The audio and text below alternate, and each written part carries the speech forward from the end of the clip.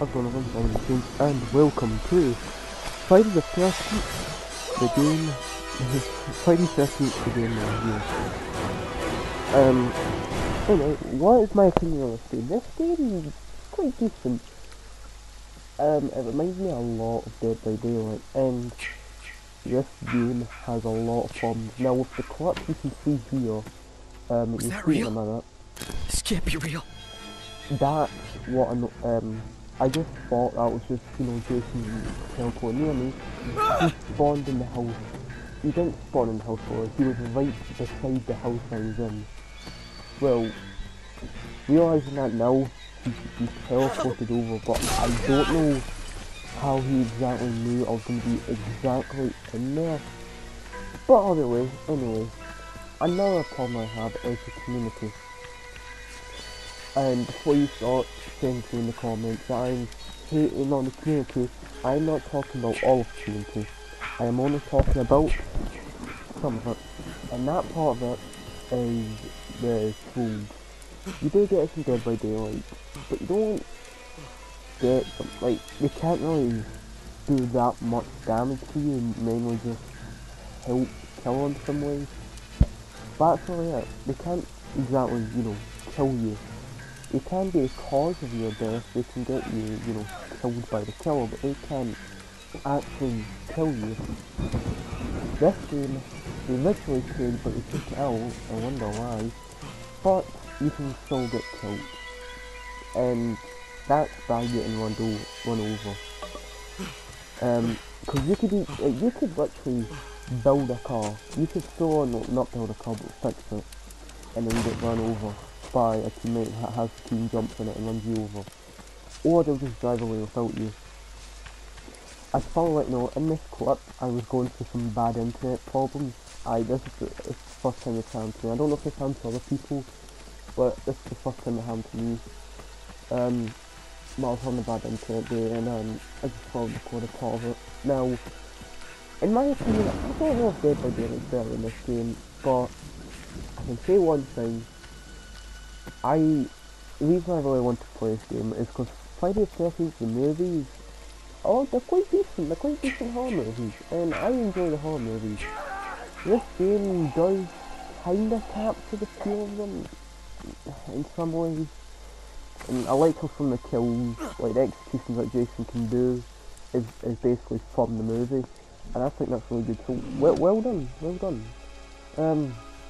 But playing as Jason is quite fun. Except, as I said before, you've got the trolls.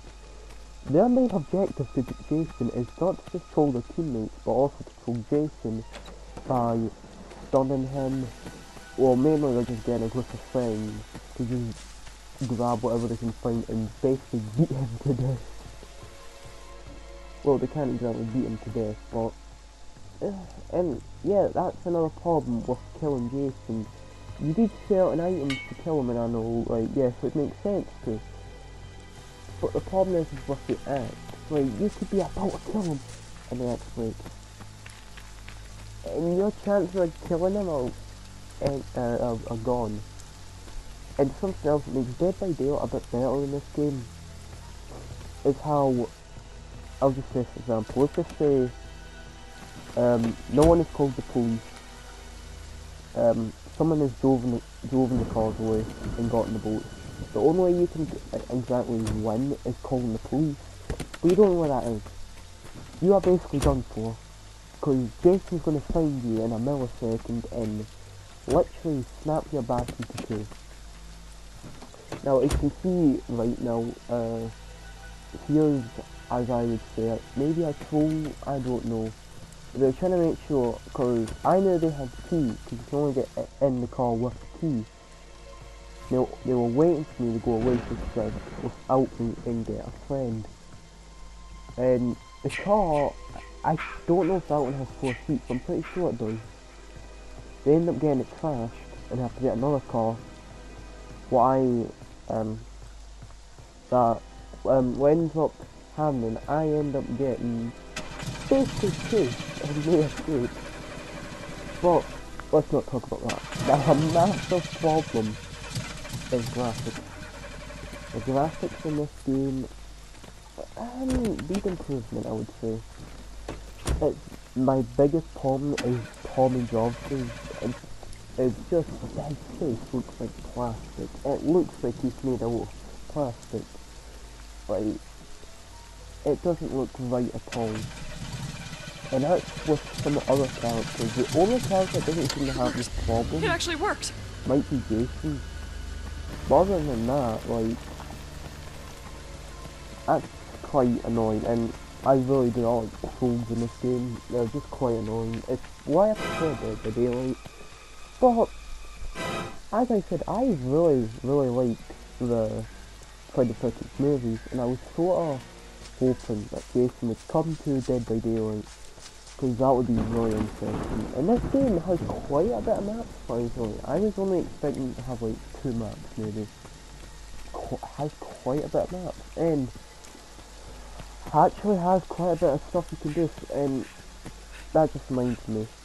The biggest problem is, if you want to play online, you have to wait on consoles at least 10 minutes of waiting. That's what usually takes me. That's that's not because of internet, because that's the searching for a game.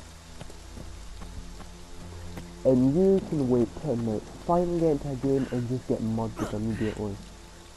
Because it's so annoying, you just I don't understand why it's taking so long to wait. It's possible because no one plays the game that much anymore.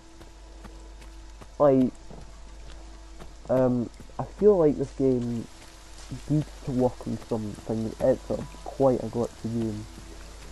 And I think another problem is, is how Jason, I know he's supposed to be a bit overpowered, but he seems a bit too overpowered. I know, like, he can basically stop us from, like, doing anything, but the minute he's got rage activated, it's impossible to kill him. It is, well, not kill him, but escape him, basically. Lock a door? Nope, he just through that. Oh, gonna try and, um, let's just go into his room, or he can just probably kick down that wall if he wants to. Got it. And another problem is, is hiking. With Dead by Daylight, the way they did it is that you had a crow, and I don't want to keep going to Dead by Daylight, but a crow did come on the top of it. In this game, your character would breathe, and yeah, that seems quite realistic, but you basically can't hide. Like, you hide, your character can hold your breath for like 10 seconds, like they've got asthma or something. And I can say it because I do have asthma. But they hold their breath like, you know,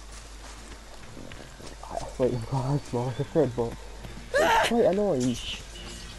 And something that makes Tommy Jarvis quite useless in some ways. Because, well, Tommy Jarvis is like really good with stats and all that, but it's what he has. Like, he, has the, I'm gonna say rifle shotgun. It looks to be a shotgun, but it mainly seems to be a rifle. And he also stops with a pocket knife. Pocket knives are annoying when you're playing when you're playing Jason. They are just annoying. You'll you'll finally grab that guy who's been annoying you for this entire game, and he stab you in the foot, and you've got to wait until you can pull that out. That is just annoying, and it is really just, oh god. But let's stop talking about the main part of the game. Let's get on to the virtual cabin. I completed the virtual cabin for, mainly for a walkthrough, but I saw trial the the what um tr- trial virtual cabin with a walkthrough. It was quite good, and then it showed Jason X at the end. It was quite cool. And problem is, we still haven't gotten Jason X. When is Jason X coming out? I would like to see Jason X. I'd like to see the map. Jason X was an alright movie. Kinda. Yeah. I don't know. There's people that hate it, people that like it. I think right. it's a, I think it's a decent movie because it's trying to be unique. But you know, it can't really be that unique in some. It, it, okay, I'll stop talking about the movies with Dead by Daylight. Okay, but I feel like this game could have used a bit more I'm out of here. character, and they do try using that with challenges. That was basically single player. That was basically the campaign of the game. And I think the campaign, well, I'm going to just say it's a campaign, it's quite decent, but it's so annoying. Like, you've got to do stealth in some parts, well, you've got to basically do stealth in all of them. I don't really feel like Jason's a stealth person. Yes, he stalks people and all that, but I don't think every kill was, you know, stealth. Because throughout the game, you're trying to, you know, cap, you're trying to kill, um, you're trying to kill them. And in the movie, yeah, he does kill most of them in like a stealthy way. But you've got that one person that runs away. Any challenges, you can't let that happen. You can't, of course you can let that happen. But if you want to stage, you need two skulls. So unless you're wanting to try and kill everyone, that's the most easiest one to do in my opinion. Um, the stealth, and I can't remember the other one. But something else I'm really glad this game can do is locking doors. Or even having doors. Because how big the map is and with how many buildings there are, you wouldn't be really expecting um, you wouldn't be really expecting this game to have, you know, so many houses with so many with so many doors. Cause I like how you can be getting chased by the killer, and you just close the door behind you and lock it. He's got to fully like chop that down. That gives you a couple of spare seconds to escape. Unlike in Dead by Daylight, the minute he starts chasing you, the best you can do is either get him in his own trap or just hope he locks onto someone else because there's no way you're escaping. And the thing is, Jason's abilities don't change with any other Jason. And that's what feels quite disappointing, uh, um, to be exact. It would be kind of cool with each Jason for there to be different abilities. Um, I don't know, I would have liked to have seen that and something that doesn't really make any sense is how you knock the masks off on Jason when you hit him like, a couple of times. Jason, uh, part 2 Jason has a sack on his face. And uh, what? How does that come off so easily? Like, well, not easily, but I think it's supposed to symbolise that you've basically hit it off and the straps have came off. But how does a, a sack that I think's tied around him come off that easily? Unless we you know, cut the rope. But unless Jason's got, you know, another rope in him to put the mask, the mask back on, I don't understand. But I shouldn't be so nitpicky. But another thing, um, I'll probably just end this video quickly. But I love the part uh, part 5 I think Jason it is, Unmasked. Look at that on the internet, that's amazing. But, in my opinion, I got Jason, uh, I mean, Friday 13th the game, um, I got that, uh, uh, 6 out of 10. But, if you know I hope you've enjoyed the video. Um, remember, button, that's the button, and I'll see all of you in the next video. Goodbye.